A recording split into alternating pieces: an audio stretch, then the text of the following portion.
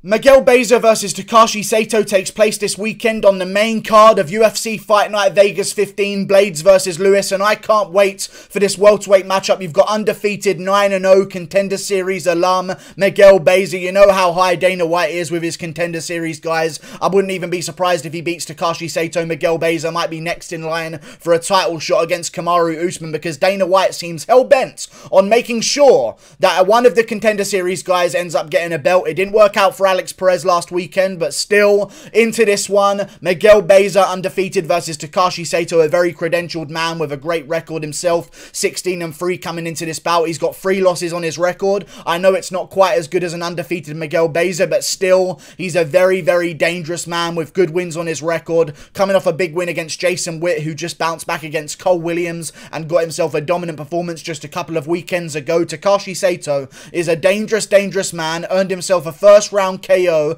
against Jason Witt. I know he lost to Belal Muhammad, but the entire division might go on to lose to Belal Muhammad, okay? I know that Belal Muhammad's had some setbacks, but Belal Muhammad is a dangerous, dangerous man in the welterweight division and now ranked for a reason. And if he beats Dhiego Lima coming up soon on that end of the year card, that's amazing, by the way, then he's going to be looking at big names like Neil Magny. So I don't think we can take away from Takashi Sato for losing to a guy like Belal Muhammad. And by the way, putting up a bit of a fight while it lasted. I know he did get beaten quite badly. He got taken down, smothered on the ground. Some ground game things got exposed, I guess you could say at the time. But, you know, Belal Muhammad's no slouch in the grappling, so I wouldn't even really say he got exposed. He landed some good shots in that fight, and in the third round, he just didn't really have it in him to fight off the submission attempts as much anymore, and that's what happened with Belal Muhammad getting the submission in the third round. Hung in there, though, in the first two rounds, and even got a takedown of his own in that fight against Belal Muhammad, who's no slouch in the grappling department, so I like Takashi Sato.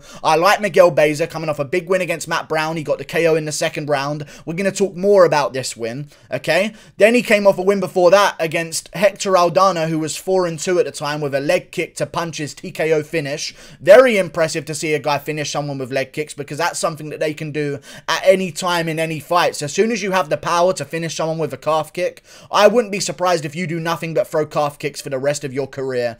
Honestly, it's a dangerous, dangerous technique, and Miguel Baeza is a very good fighter. Actually, a Brazilian Jiu-Jitsu black belt, but recently has been looking really good on the feet and feeling himself on the feet recently recently as well, is he? Even in the contender series, he was doing good in that fight, knocked the guy down twice. But then the round started to go on. The second round started to come around, and Victor Reina was landing a lot of good shots in the second round. In the third round, it looked like Victor Reina was going to go on and finish Miguel Baeza, but he rallied late to save himself. Ended up with a triangle submission nearly at the end of the fight, but still, the fight really ended with Victor Reina getting the better of Miguel Baeza. So I actually am going to pick Takashi Sato in this fight against Miguel Baeza as a juicy underdog because I don't think he should be this much of an underdog.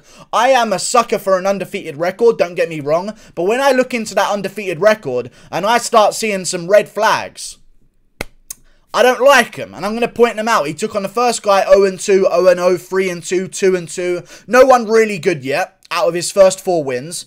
Not the best, but they've got experience. Some of them have got fights, so I don't blame him. The first four fights for any fighter are not usually against the best competition, but still, not the best opponents. Moves up and takes on a guy who's 5 and 2 and takes him to a close split decision. The guy is now 4 and, uh, 5 and 4 from originally being 5 and 2 when he took on um, Miguel Baeza, and now he's retired.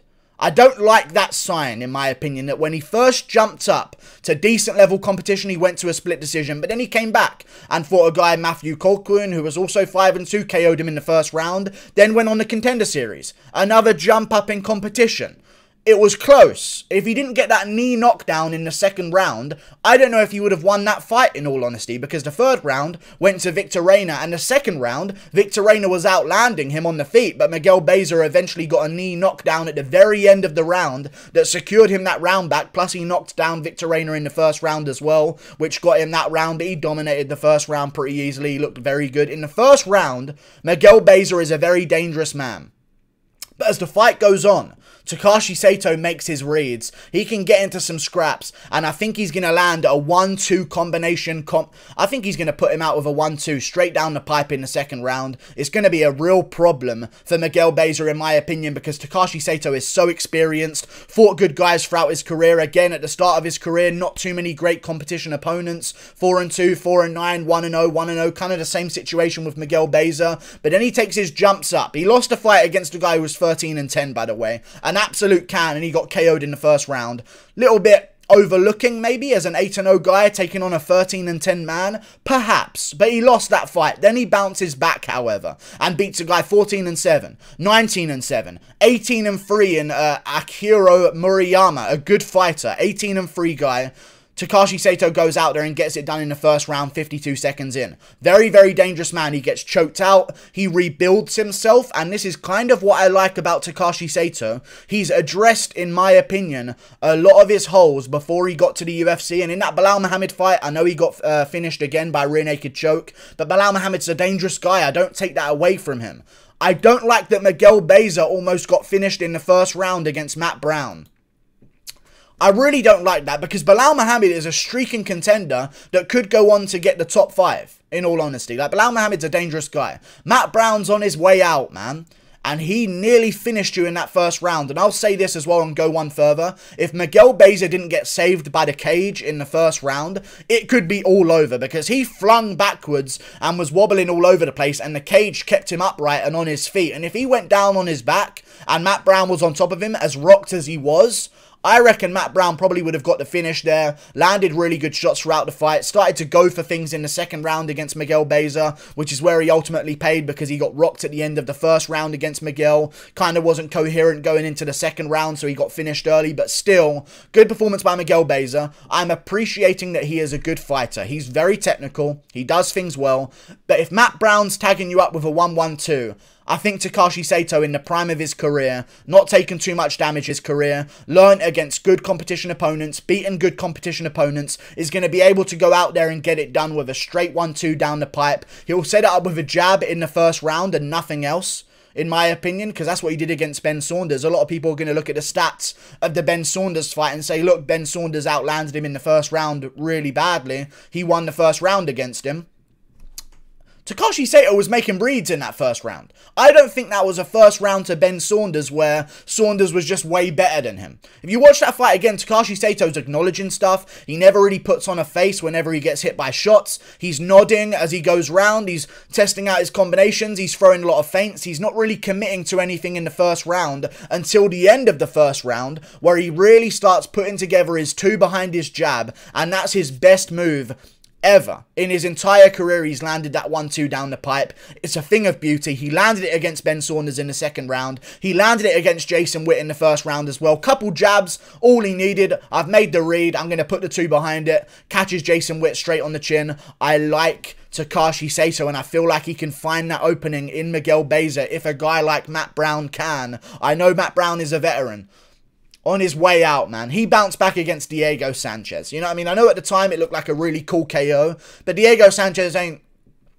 bounce back to tell me you're ready to take on top contenders. I hadn't picked Matt Brown in that fight because I thought Miguel Baeza had a tough time on the contender series. His guy who he beat in his UFC debut was such a can feed, and I don't like the babying that these contender series guys are getting because he took on Hector Aldana in his UFC debut, and it wasn't a short notice replacement either, by the way. He had a fight booked in June. He got a replacement of Victor Reyna on the contender series. Going into the Hector Aldana fight, Aldana was the fight booked for him. 4 and 2, Hector Aldana at the time. Came into the UFC, 4 and 0, lost on the Ultimate Fighter Brazil, I believe it was. Came into the UFC, lost, lost again. Then got a fight with Miguel Baeza, basically spoon fed Miguel Baeza a decent win against a guy coming off two losses in a row that showed that he can't hang in the UFC whatsoever. And then somehow, um, Loses in the in the second round to uh, leg kicks. It was a very good performance by Miguel Baeza. I don't know why I just said the word somehow. Don't know why that came out of my mouth, but I'm definitely going to be picking Takashi Sato in this fight. Beat great opponents. He beat Matt Vale. Who's a guy from Australia who's a very dangerous talent. He beat Matt Vale when he was 10 and 1, by the way, as well. A very dangerous guy coming up.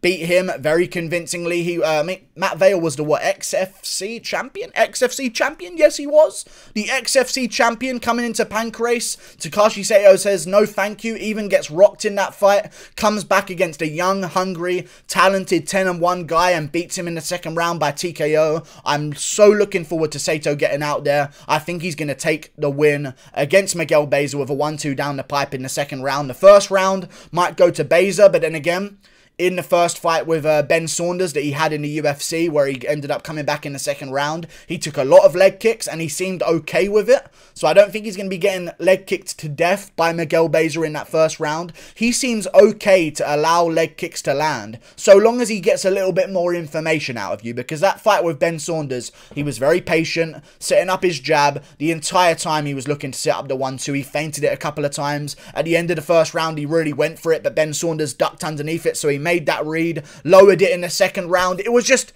I can sense the IQ in Takashi Sato's head.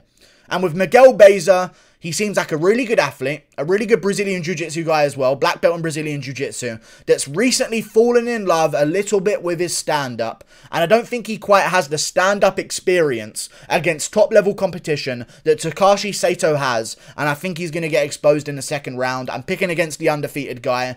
Takashi Sato is my underdog pick. They opened as like Sato was like a 2 to 1 underdog, which was ridiculous uh, or uh, sorry, Miguel Baeza was a 2 to 1 favorite. That line is now closing as this week goes on. So I feel like the betters are kind of on my side here because they see that those odds are ridiculous as well. I could see that line closing even more because Takashi Sato should not have been that much of an underdog. And I'm actually going to pick him to win against Miguel Baeza on the main card. And if he does win, big things to happen in the welterweight division. I'd like to see him take on the Niko Prices of this world, the other welterweights of this world that I can't quite remember the name of that are all coming off wins right now. There's a bunch of them outside the rankings waiting for a guy like Takashi Sato to jump on in. And if Miguel Baeza wins, listen, You've got a 10 0 guy, and I'll give him all the respect in the world because Takashi Sato's a beast. I don't see Sato getting KO'd, even though he was KO'd earlier in his career. He got rocked badly against Vale, came back in that fight, showed a great chin, dropped Matt Vale in the first round as well, and then got dropped in the second round, came back in the second round to get the finish. It was a good fight to watch. I feel like I'm going to go with Sato in the second round, though.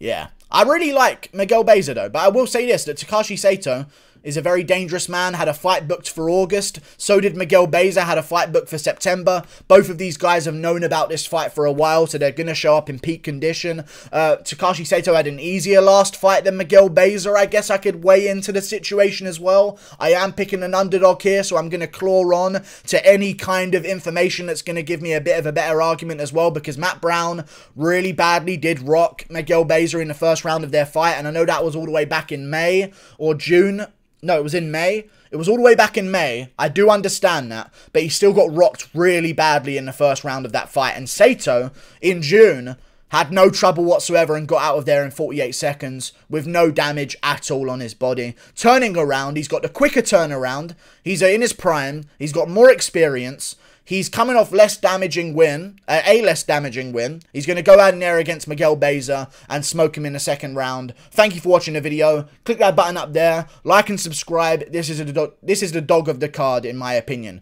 I don't see Derek Lewis beating Curtis Blaydes, but I can see Sato getting the upset against Baeza. I think this should be 50-50. They've made Sato too juicy of an underdog for me to pass up. Goodbye. See you later. Toodle pip.